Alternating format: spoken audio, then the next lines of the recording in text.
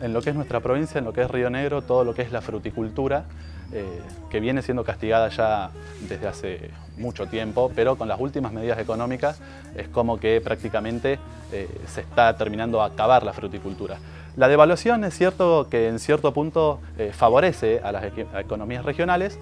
pero una medida sola, aislada, no sirve de nada, porque de nada le sirve a los pequeños productores que le apliquen retenciones ahora y sobre todo eh, los tarifazos, eh, el aumento en los combustibles, el aumento en los insumos, todo lo que tiene que ver con la dolarización de los insumos, eh, perjudica directamente al productor. Entonces, la verdad que todo lo que son economías regionales con estas medidas económicas están siendo gravemente perjudicadas.